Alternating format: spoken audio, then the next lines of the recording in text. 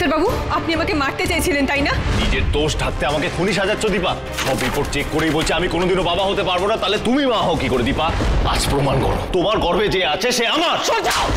এই অগ্নি পরীক্ষা আমি দেব না। আমি দেব না। এই বাড়িতে আমি আর থাকব না। এই বাড়িতে তুমি সেদিন ফেরত এসো দীপা। যেদিন তুমি তোমার বিশ্বাস সম্মান আবার ফেরত পাবে। আমি আছি তোমার সঙ্গে।